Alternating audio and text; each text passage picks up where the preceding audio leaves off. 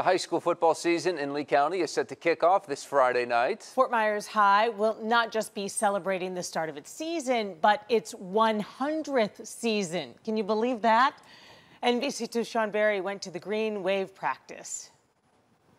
A celebration a century in the making. Friday, when the Green Wave kick off against Sebring, it will be the 100th season opener in program history. A special occasion for this current batch of Green Wave, carrying on the tradition started by their fathers and even grandfathers.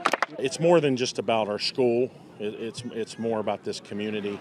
The fourth winningest team in state history kicks off its 100th season Friday night.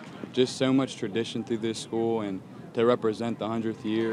We got to do a lot of good stuff this year to represent Fort Myers because they, they deserve it. Needless to say, those playing in the game are eager to take part in a game 100 years in the making. Like when I go to college and come back, I could be like, oh, I played 100 years, a 100 year game. Um, I think that'll be the biggest, the biggest thing I take out of this game. But over the century of Green Wave football, other than success, one other factor has been synonymous with Fort Myers football the Sirianni family name. Last year, you know, that you know, I was made aware that my dad and I it was 50 years as head coach out of 99 you know, puts things in perspective. I mean, it's a long time. Friday's game, however, goes beyond the Green Wave's first family, says Sirianni. You know, this place is special to me. Friday night is is so much about this whole hundred-year culture of Fort Myers, and uh, we want to make sure that we we celebrate it that way.